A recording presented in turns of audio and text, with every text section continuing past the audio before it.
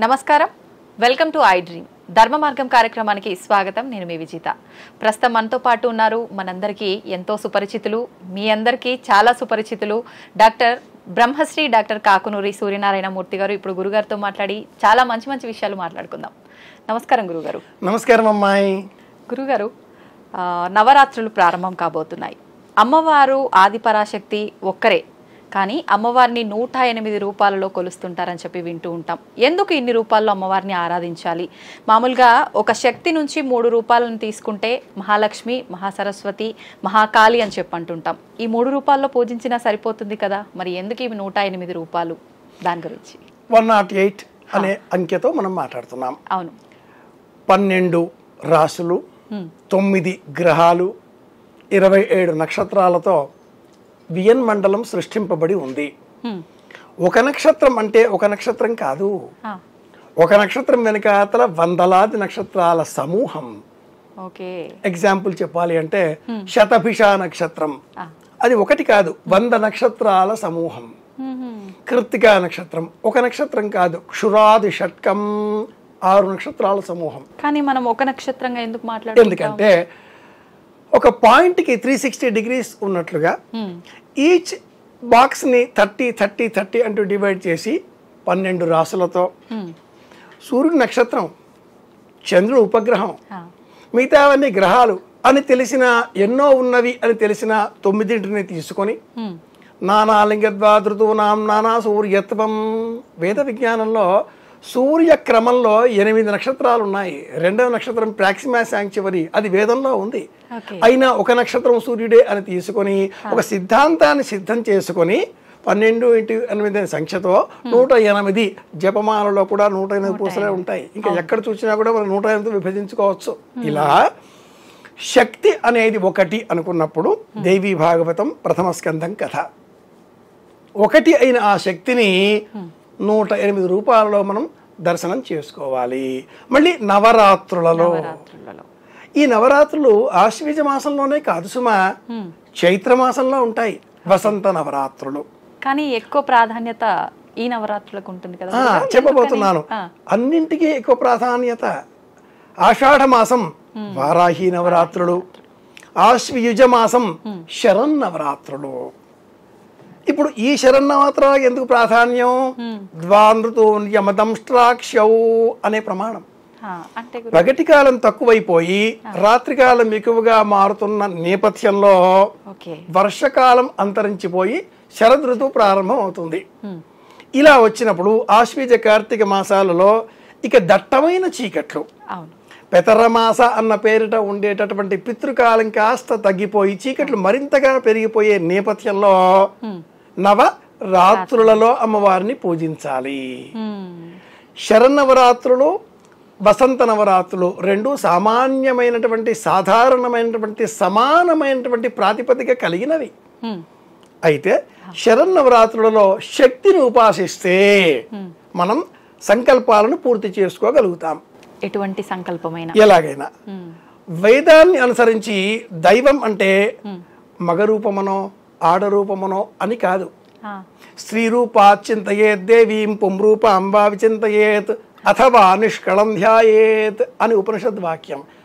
ఏమైనా అంటే వీళ్ళు శ్లోకాలు అవి చెప్పేస్తూ ఉంటారు అనుకోమాకండి. ప్రతిదానికి ఒక తర్కం ఉంటుంది.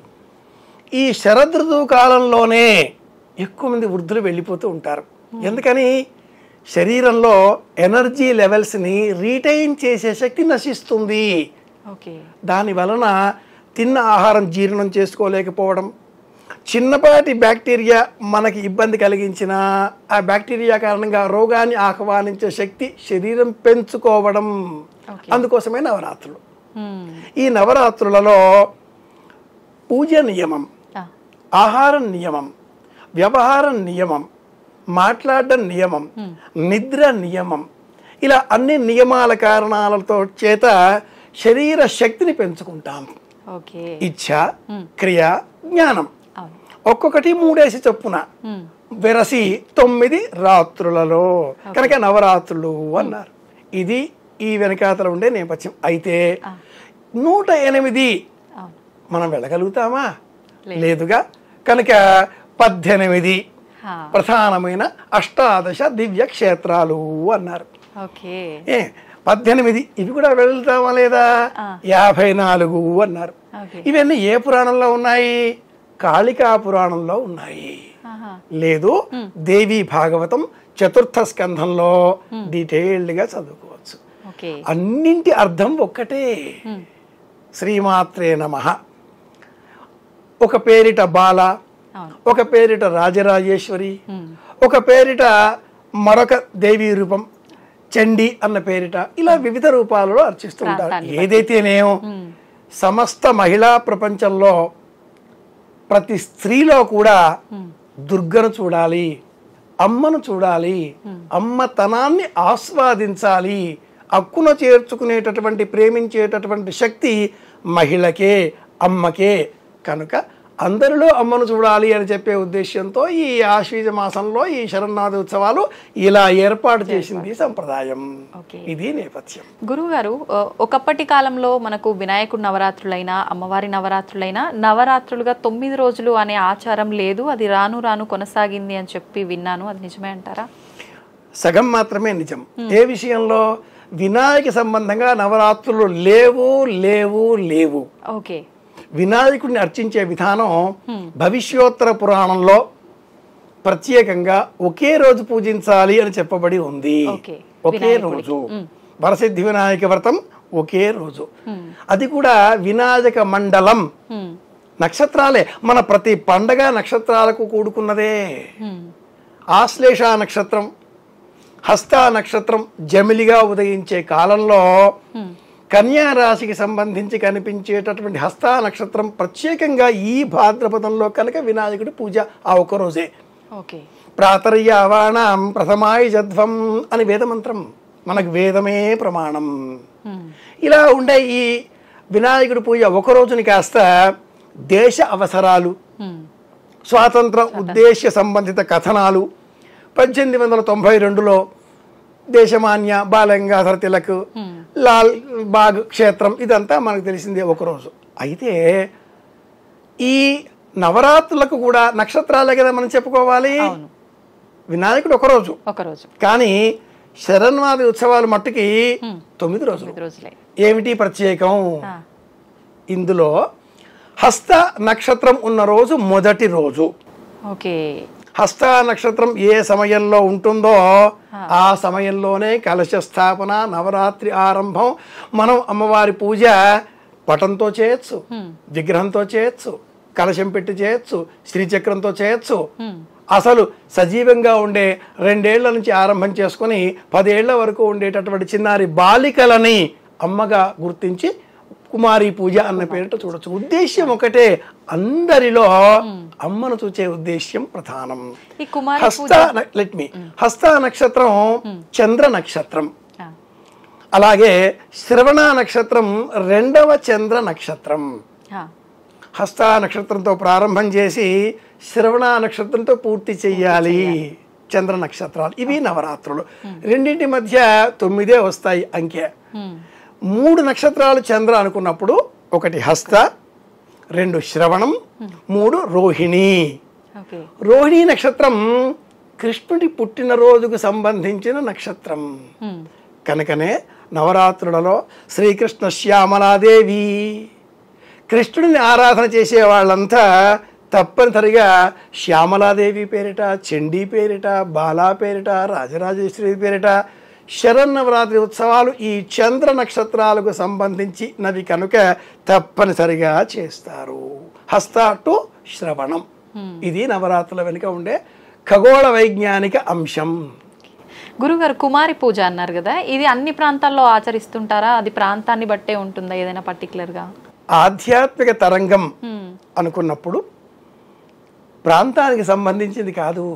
ప్రపంచానికి సంబంధించింది. అని మనం ఆలోచన చెయ్యాలి. వైజ్ఞానికంగా ఉండే ఆ నక్షత్రాలు ఒక ప్రాంతానికే కనిపిస్తాయా. కావుగా ప్రపంచమంతా.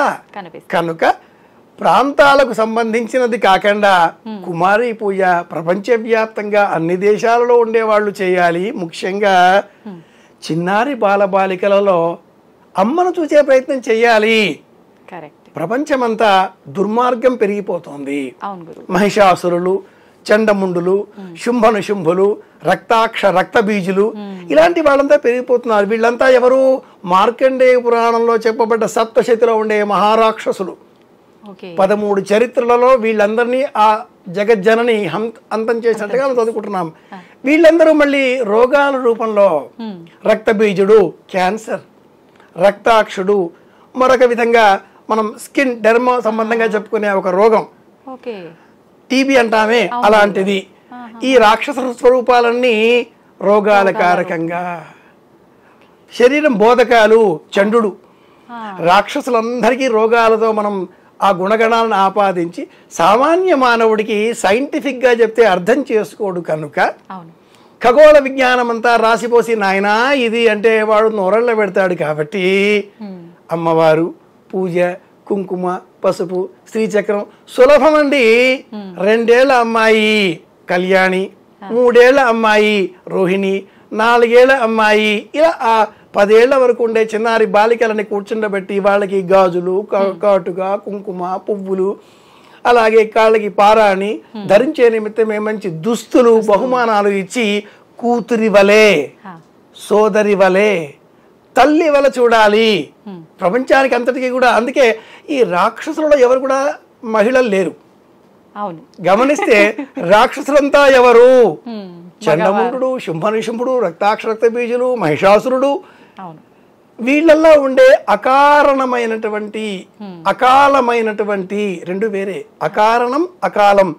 అనైతికం అహేతుకం అసంబద్ధం ఇలాంటి అధర్మము అనైతిక పరమైన కామ వికారాదులన్నీ కూడా తొలగించే నిమిత్తమే ఈ నవరాత్రులు అమ్మాయిని పూజించడం కుమారుని పూజించడం కూతురిగా గుర్తించడం ఇది ముఖ్యం. నిజంగా ఆ భావన ప్రతి ఒక్కరిలో ఉంటే ఇప్పుడు జరిగే ఇలాంటి ఇబ్బందులు ఎందుకు వస్తాయి? కాదు.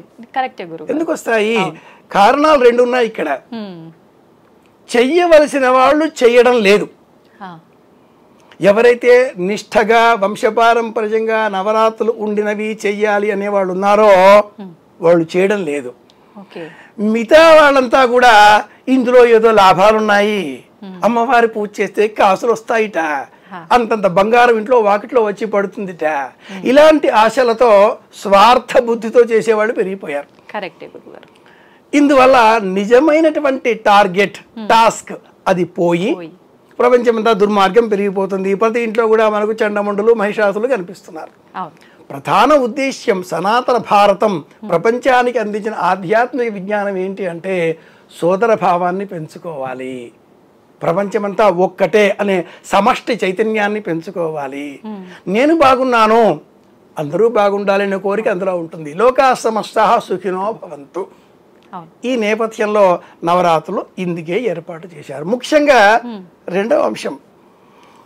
చెయ్య తగనటువంటి వాళ్ళు ఆకర్షణతో చేస్తున్నారు. ఇది నిజం గురువు గారు అది చాలా ప్రమాదకరం కదా.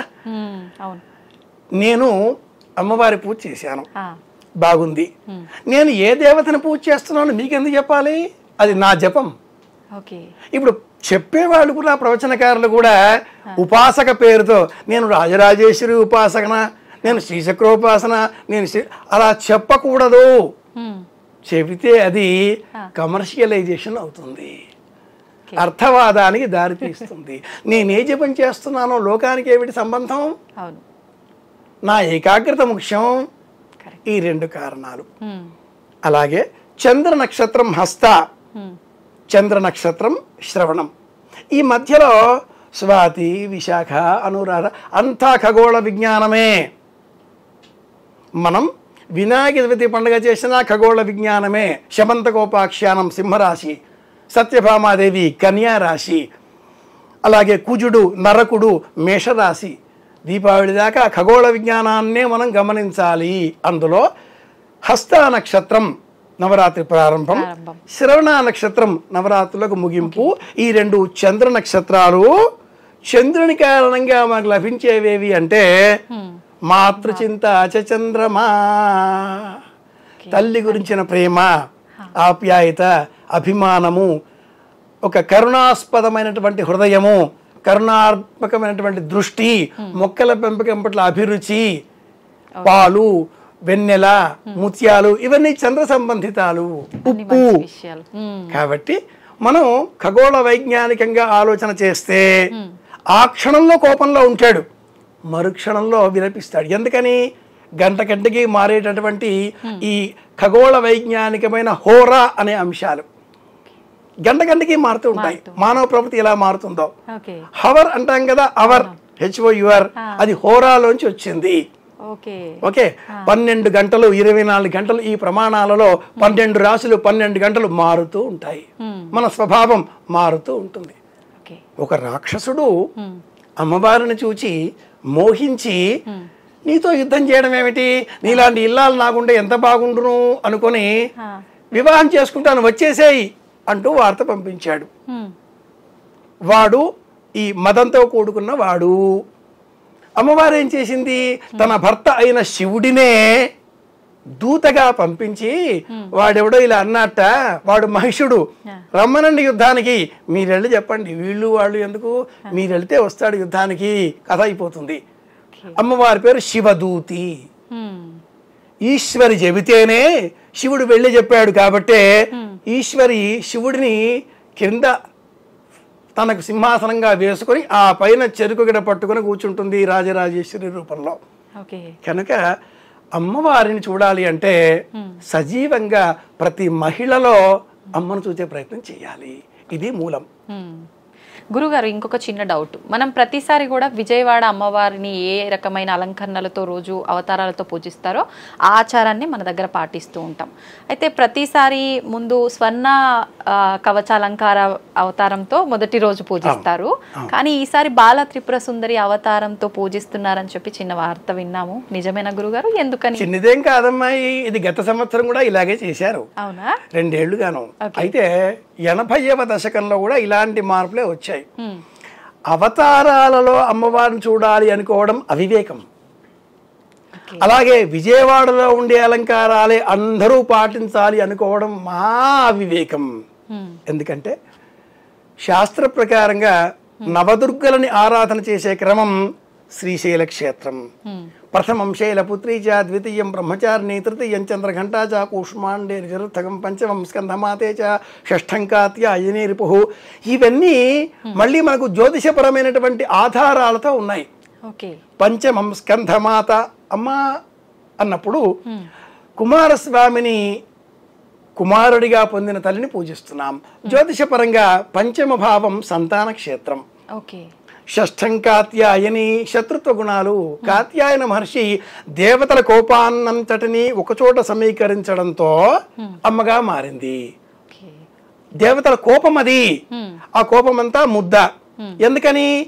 ఈ రాక్షస సంహారం చెయ్యాలి. వాడు దుర్మార్గంగా ఉన్నాడు. మహిషంగా ఉన్నాడు. ఎవరైనా తిట్టాలి అంటే అమ్మాయి ఆవు అని తిట్టరు. దున్నపోతా అనే తిడతారు. ఎందుకని? వాడు మహిషుడు. మదం. రాక్షసత్వం అంటే మళ్ళీ మనం ఏదో కోరలు కొమ్ములు అనుకోకూడదు. రావణాసురుడు ఎవరు అంటే బ్రహ్మ అనే బ్రాహ్మణ వంశానికి సంబంధిత దేవతగా ఉండే స్వరూపం అనుకుంటే బ్రహ్మ మునిమనుడు కదా. కాబట్టి కులానికి సంబంధించి రాక్షస పదం చెప్పకూడదు. ఇతరుల స్వార్థ ఇతరుల యొక్క స్వేచ్ఛని బంధించేటటువంటి వాడు రాక్షసుడు అవుతాడు. ఇతరుల స్వేచ్ఛ లేకుండా నియంత్రించేవాడు రాక్షసుడు అవుతాడు. అంతేగాని కూరలు కొమ్ములు అనుకోవకర్లా మన కథలోకి వచ్చేస్తే స్కంధమాత జ్యోతిషపరంగా పంచమ రూపం సంతానం. షష్ఠం కాత్యాయని ఇలా విజయవాడ అలంకారాలే అని కాకుండా. దేవీ భాగవతం చెప్పినటువంటి శైలపుత్రి ఈ అలంకార రూపాన్ని మనం పూజించాలి వరంగల్లులో కానీ. మైసూరులో కానీ శ్రీశైలంలో కానీ ఇతర సుప్రసిద్ధమైనటువంటి అష్టాదశ శక్తి పీఠాలలో కానీ అమ్మవారిని నవదుర్గల అలంకారాలలోనే సేవిస్తారు. అలాగే శ్రీశైల క్షేత్రంలో సప్తమాతృకల పేరిట మ్మ్. కౌమారి బ్రాహ్మి వైష్ణవి అలా ఆ రూపాలలో. కనుక ఆచారాలు అనేవి ఇలా ఏర్పడుతూ ఉంటాయి. గత సంవత్సరం ఇలా ఎందుకు ఏర్పడింది? హస్త నక్షత్రం నుంచి శ్రవణ నక్షత్రం వరకు తొమ్మిది.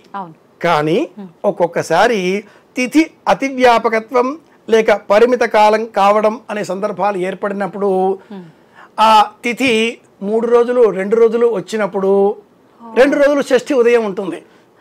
కొందరు గుర్తుండాలి రెండేళ్ళ క్రింద ఒకటే రోజున ఉదయం మహాలక్ష్మి అలంకారం. సాయంత్రం అన్నపూర్ణ అలంకారం ఇలా కూడా చేసిన సందర్భాలు విజయవాడలో మనం చూసి ఉన్నాం పది రోజులు వచ్చినప్పుడు స్వర్ణ కవచాలంకృత కనకదుర్గ రెండవ రోజున బాలా త్రిపుర సుందరి మూడవ రోజున అన్నపూర్ణ నాలుగవ రోజున గాయత్రి ఐదవ రోజున మహాలక్ష్మి. ఈ క్రమంలో మళ్ళీ ఇంకో వ్యత్యాసం ఉంది.